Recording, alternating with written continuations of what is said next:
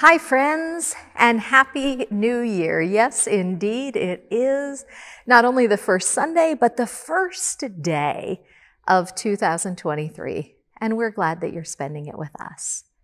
As we get ready to worship, let me issue those regular reminders that I try to give each week. The first of those is that if we haven't connected and you're worshiping with us, we would love to know that you're there. So visit our website, icdisciples.org. And we'd love it if you would take a moment and click on the connection card, fill that out, and we'll be in touch. Also, as worship begins, this is a great time to gather the items you'll need. Uh, we will be lighting a candle here in a moment. So if you like to light a candle, gather one of those. And then also we will take communion toward the end of the service. And so have something to receive as bread and something as the cup ready for when we share communion together. So now we do light our candle.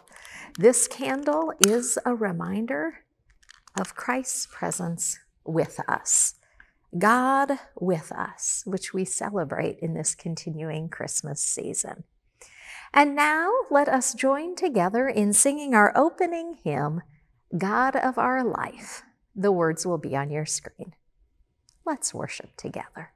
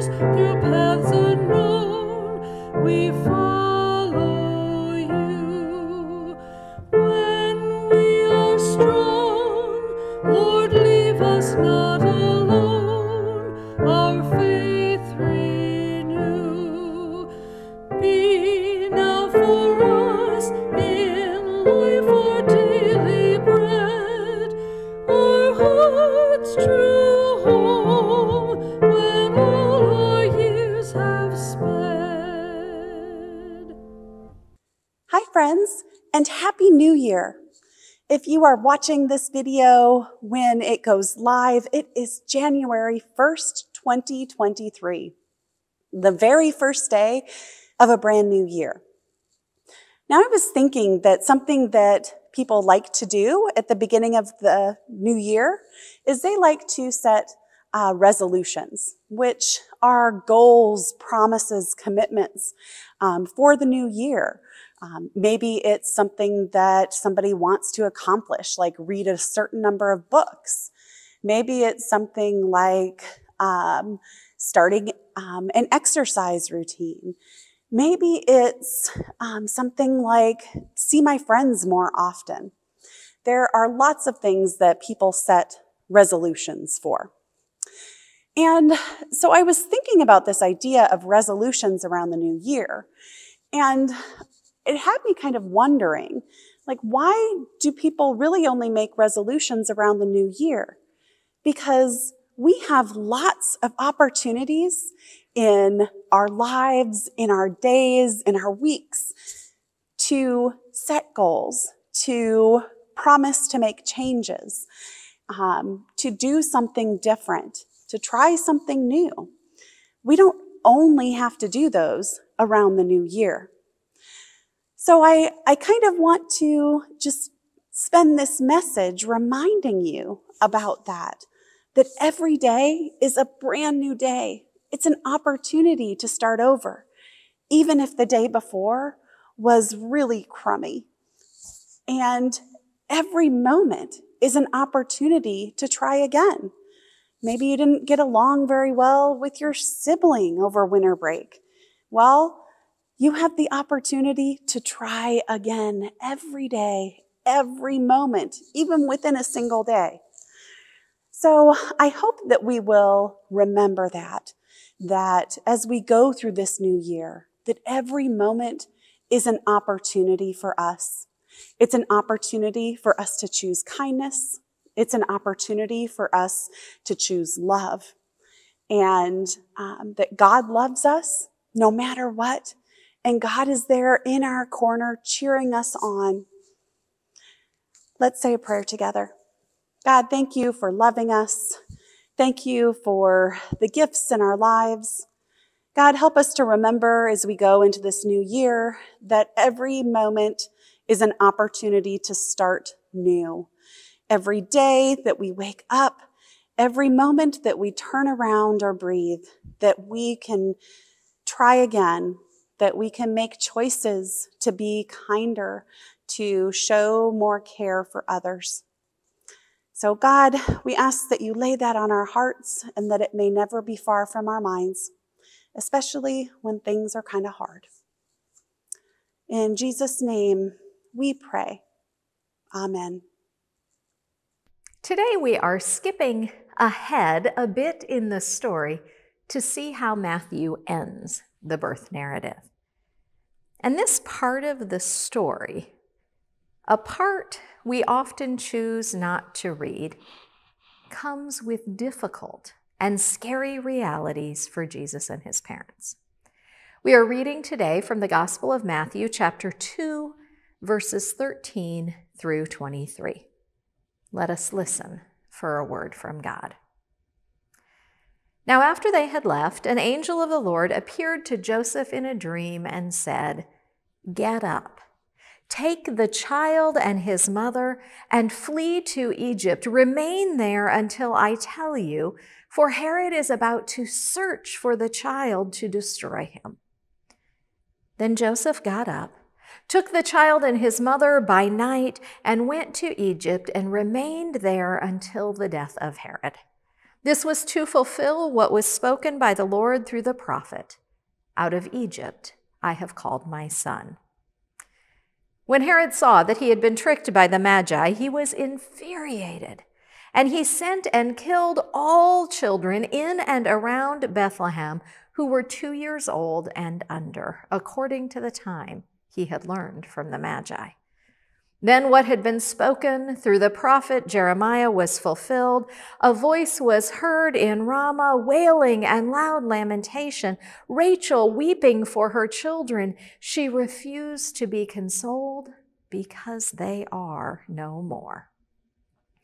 When Herod died, an angel of the Lord suddenly appeared to Joseph in a dream in Egypt and said, Get up, take the child and his mother, and go to the land of Israel, for those who were seeking the child's life are dead. Then Joseph got up, took the child and his mother, and went to the land of Israel. But when he heard that Archelaus was ruling Judea in the place of his father Herod, he was afraid to go there. And after being warned in a dream, he went away to the district of Galilee. There he made his home in a town called Nazareth, so that what had been spoken through the prophets might be fulfilled. He will be called a Nazarene. May God's blessing be added to our hearing of this word. Happy New Year, friends. Today, is January 1st.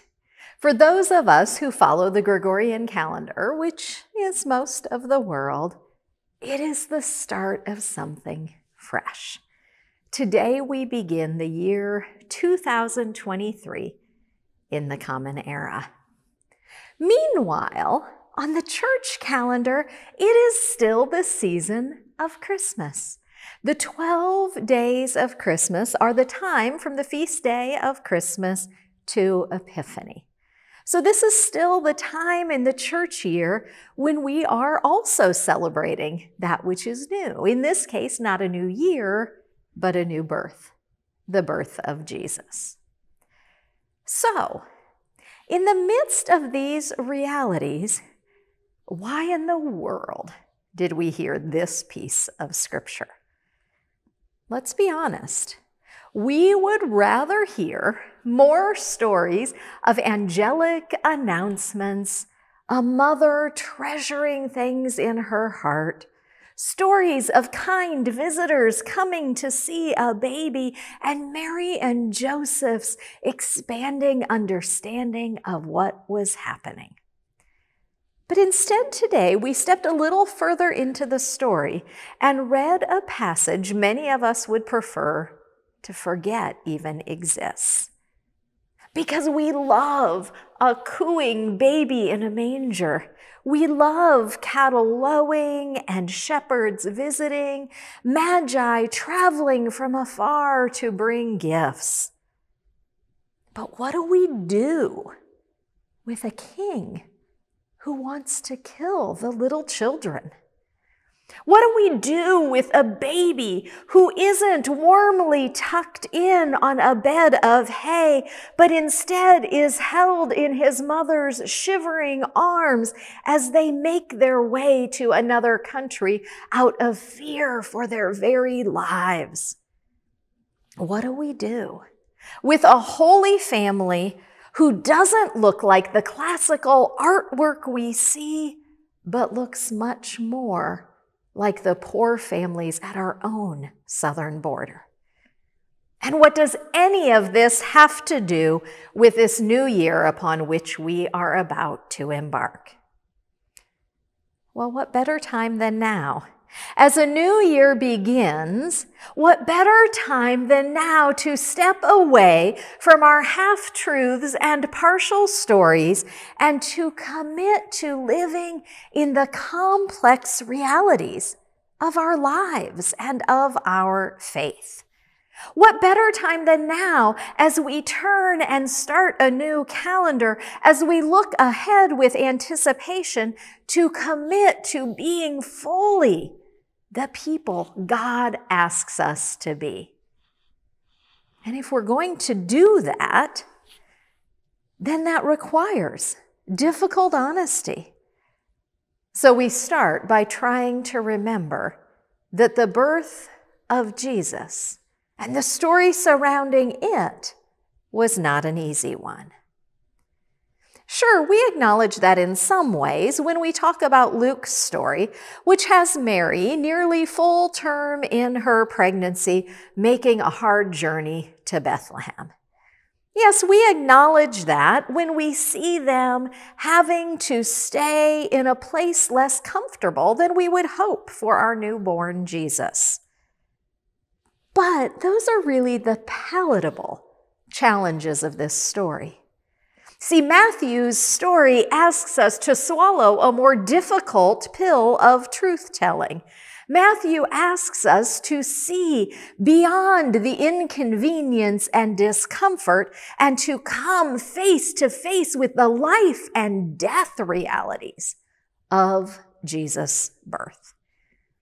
As Eric Barreto, professor of New Testament at Princeton Theological Seminary, wrote, from the very first, the road Jesus walks is marked by both God's promises and human resistance.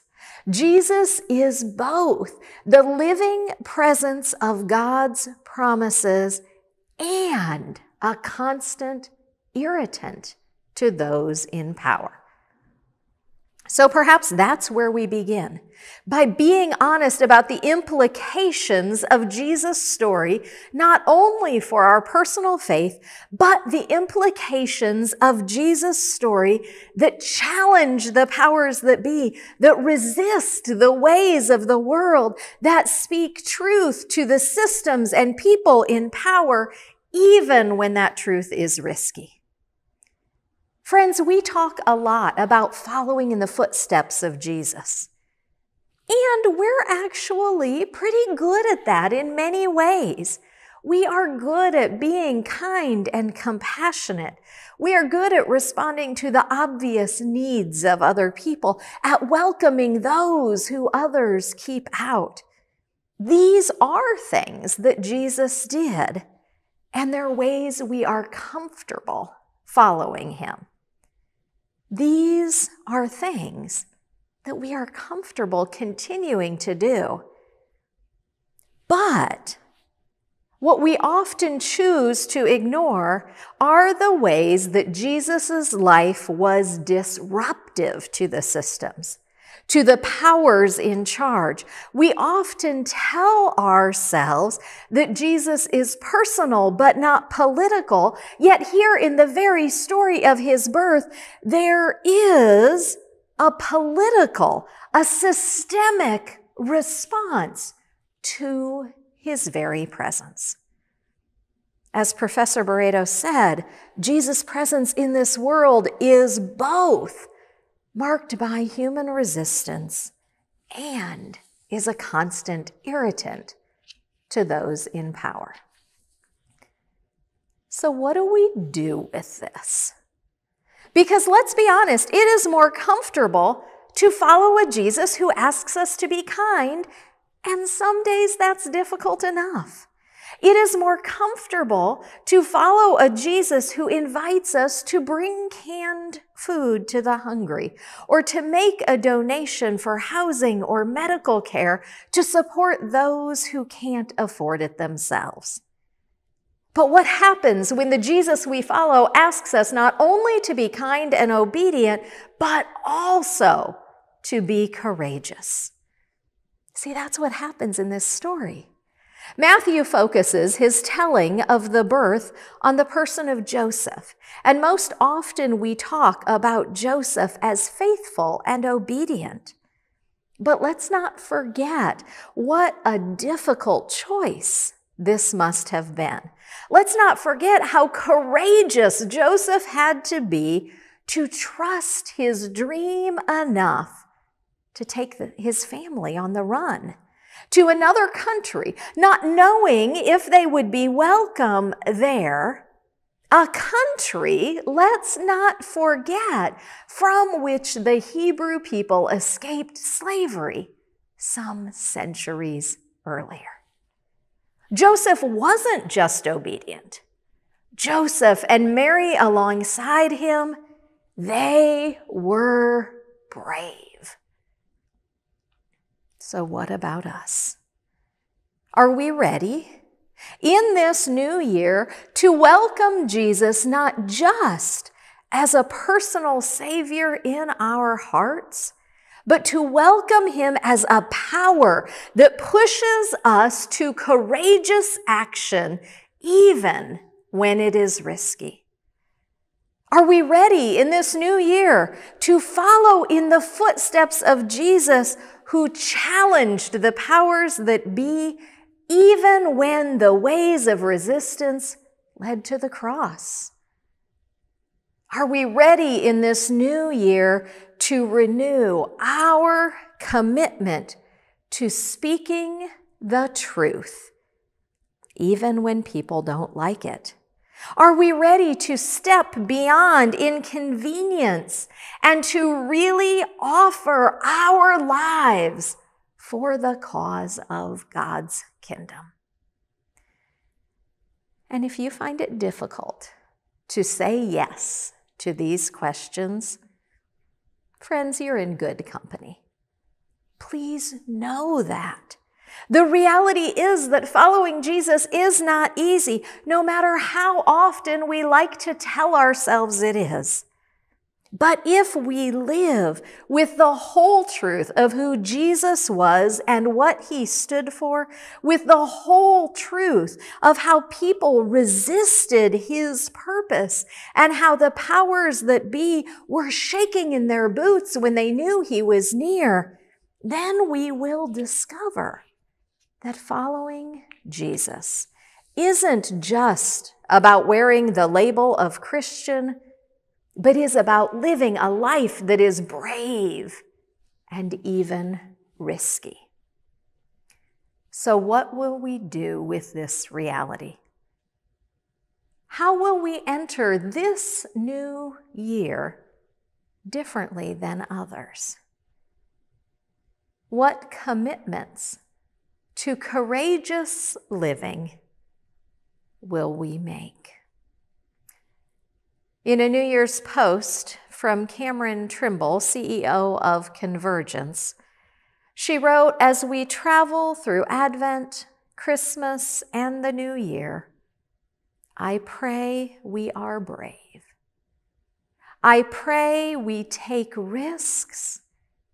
I pray we let go. I pray we make room. Friends, that is my prayer for you.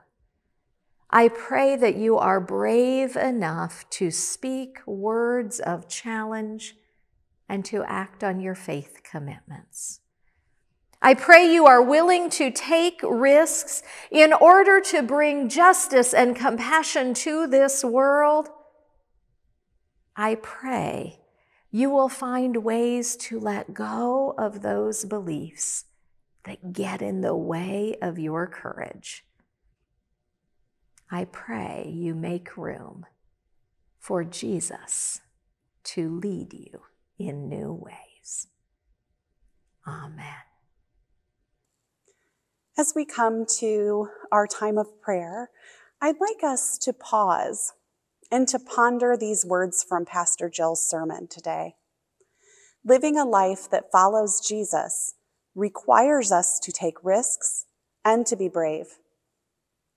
I want us to spend a little time to intentionally sit with these words, to not only hear them, but to see them, to taste them, to feel them, to really let them soak in and then to listen to what ways God may be calling us to be brave and courageous in this new year.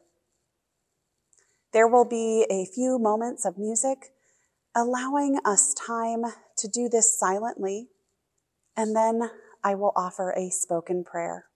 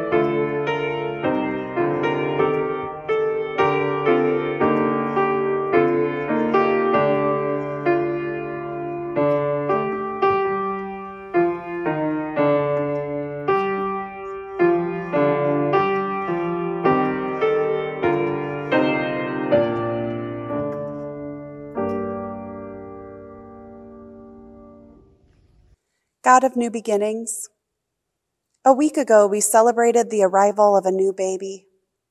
Today we celebrate the arrival of a new year.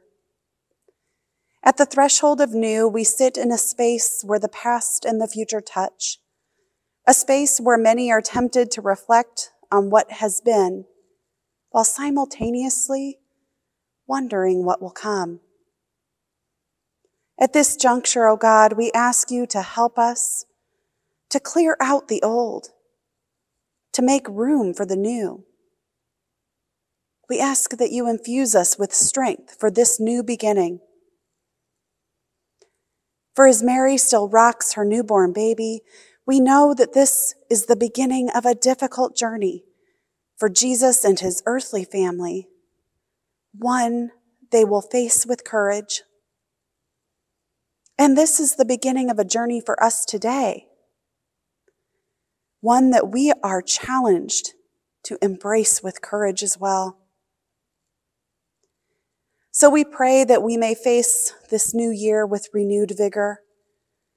May we listen and hear our calling as your children and as followers of Jesus to not settle into lives of silent comfort, but rather to live lives that include risk and require bravery lives that are centered around bringing your compassion, your love, and your justice to the whole world.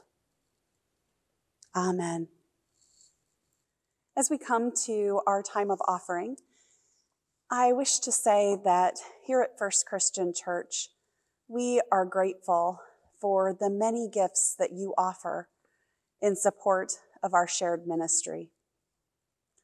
Financial gifts may be shared by mailing a check to the address you can find on your screen or by visiting our website and clicking on the donate button there. I also, during this time, want to share with you a litany by Michael Doherty, which is a variation on Howard Thurman's When the Song of the Angels is Stilled. Please hear these words. The work of Christmas begins. When the carols have been stilled, when the star topped tree is taken down, when family and friends go home, when we are back to our schedules, the work of Christmas begins.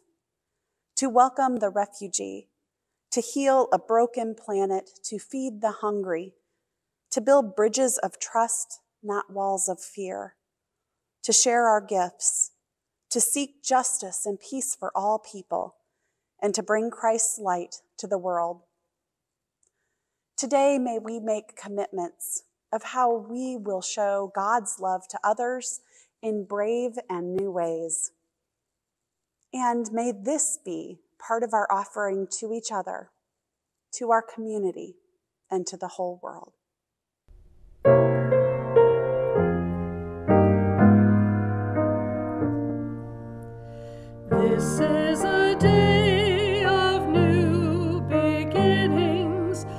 Time to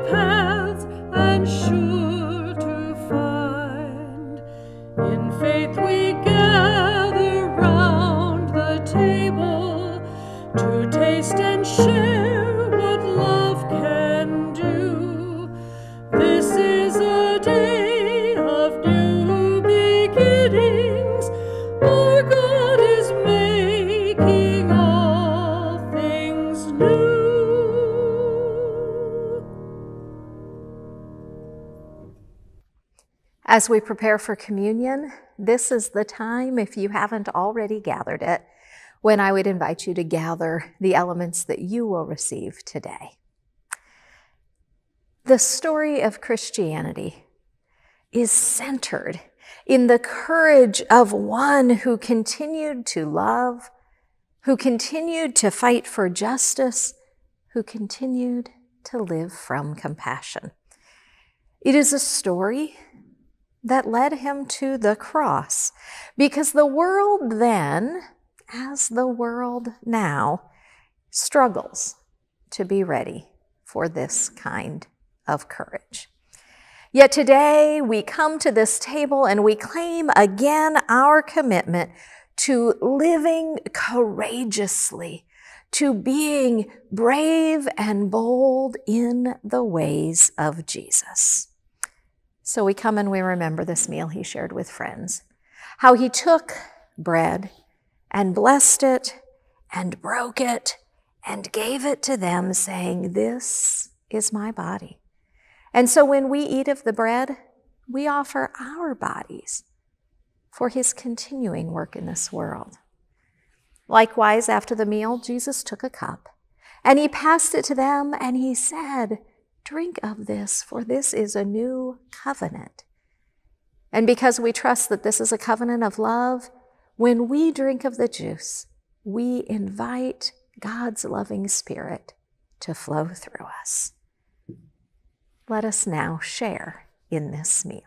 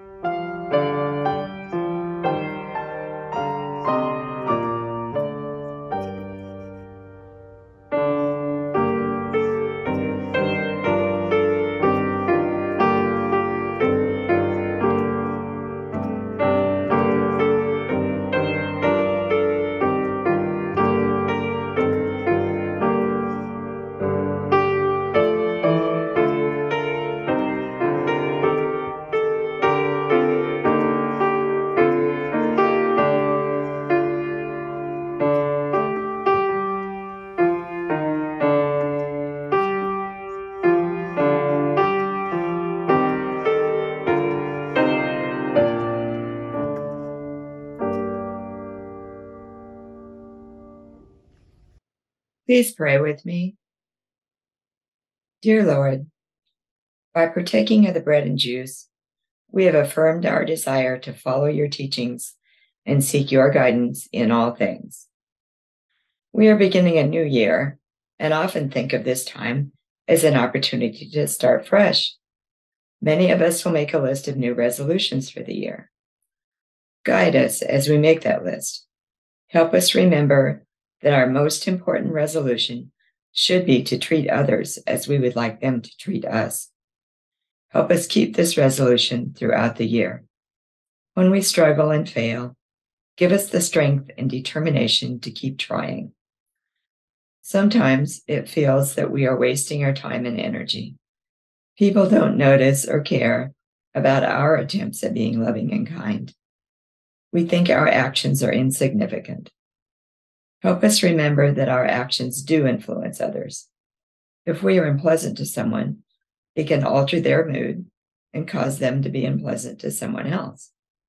but if we show love and kindness, that that love and kindness may be passed on instead. Lord, give us strength to continue being loving and kind to all people, because what we do can make a difference. In Jesus' name we pray. Amen.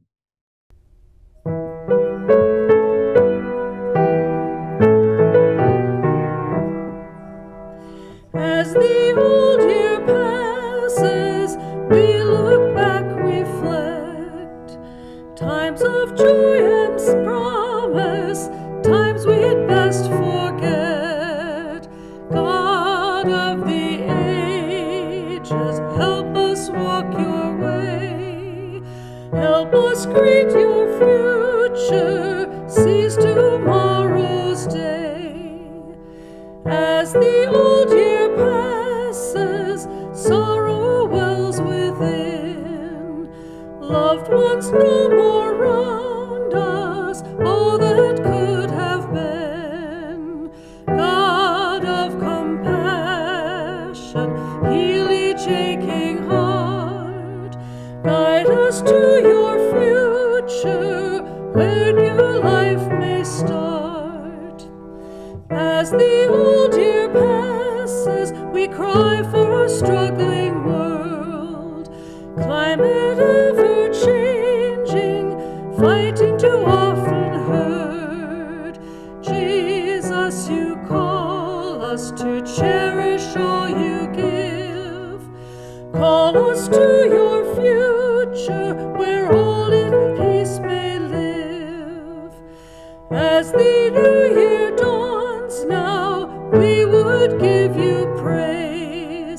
Come lead us in new ways.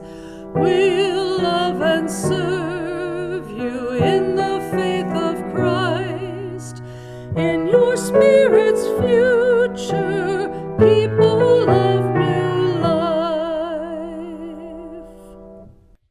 In the coming year, may you be brave enough to speak words of challenge and to act on your faith commitments. May you be willing to take risks in order to bring justice and compassion to this world. May you find ways to let go of those beliefs that get in the way of your courage. And may you make room for Jesus to lead you in new ways. Amen.